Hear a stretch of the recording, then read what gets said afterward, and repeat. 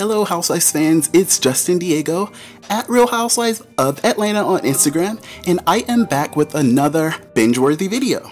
So, I have been reading the comments and I can't believe that you guys are so shady. Like, you throw shade in a way that really shouldn't even be allowed. Like, I should be able to like block, block, block. But I'm gonna let you guys do what you do. Like, I didn't know that so many people would not want to see Nene Leakes come back. Somebody commented, they're so pissed that Nene's coming back, but they're livid that Kim is coming back. Well, I also saw an interesting comment that said, if Kandi is gone, I am not watching. Well, if that's the way you feel, you're gonna be so excited to sip tea with me. Episode 2 of Rumors starts now.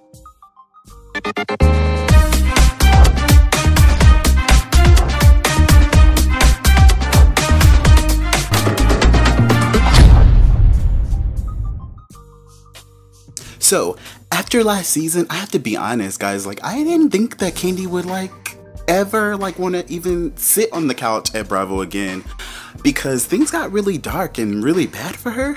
But I am so happy to announce that Kandi officially announced her comeback to season 10 last week. In case you guys missed it, she went on the Today Show and she explained why she was coming back, and I think that her reasoning made a lot of sense. Um, you know what? Last year was very stressful for, for me, but um, I decided that, you know, I'm not going to let that get, get the best of me. Bravo has been great to me, um, you know, as far as like I've met my husband through the show. Mm-hmm. Um, we got married with my own spinoff. It's just so many positive things that have outweighed the negative mm-hmm. for me as far as it pertains to the show.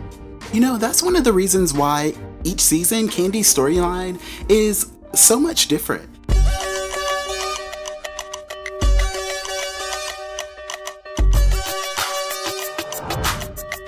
she uses the platform to create like new businesses and new experiences for her fans that I actually really like. And I know that it would be really silly for her to walk away from that because I don't think that any other celebrity besides like the Kardashians really get to use that platform in the way that Kandi does.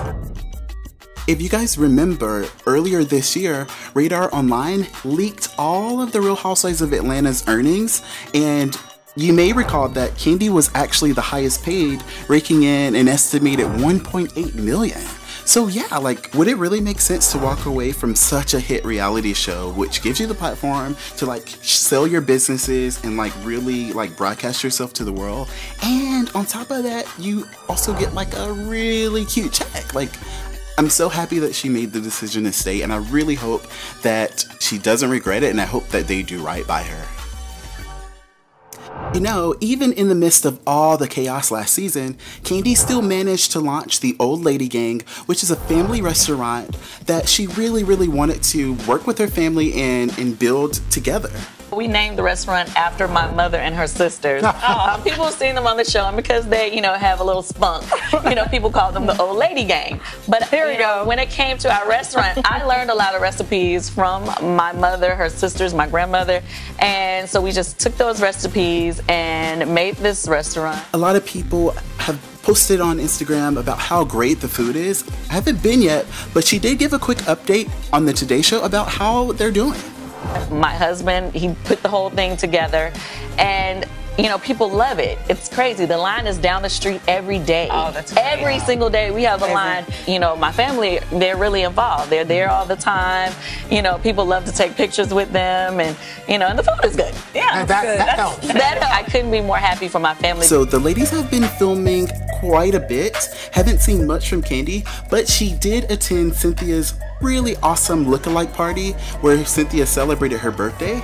At this party, it looks like Cynthia had all the ladies choose their favorite Cynthia Bailey look and try to pull it off at this group event. Uh, and some of the pictures on Instagram look really nice. Later, it was revealed that Kandi actually won this Cynthia Bailey lookalike contest, and if you look at the picture, I'm pretty sure we can all agree like hers was like the most awesome to look at.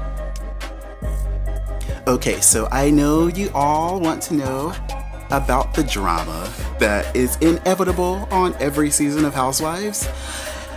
I can report but unfortunately I have nothing, which is a good thing in Kandi's case.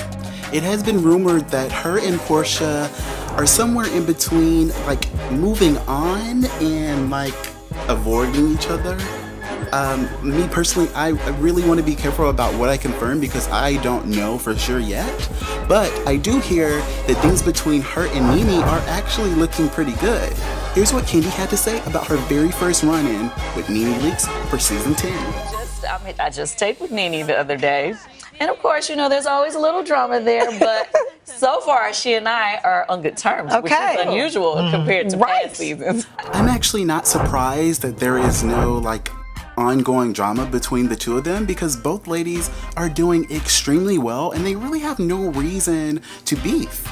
Um, if you guys recall, Nene went on Watch What Happens Live and she revealed to Andy that her and Kandi had actually made a pact to go actually give each other like a chance, like to try to see if there's actually possibility for any natural friendship there don't you're a problem me with you're her. in more touch with Kandi than you are Phaedra? That's right. Kandi has, me and Kandi made a bet that we were going to try to, you know, be cooler with each other, you know, just try to get to know each other a little bit more. And, and we both have kept to that. Wow. Yeah. In one of the final scenes of the season where Nene made her first comeback, we saw that Kandi and Nene were in the same room and they actually had a really cute scene.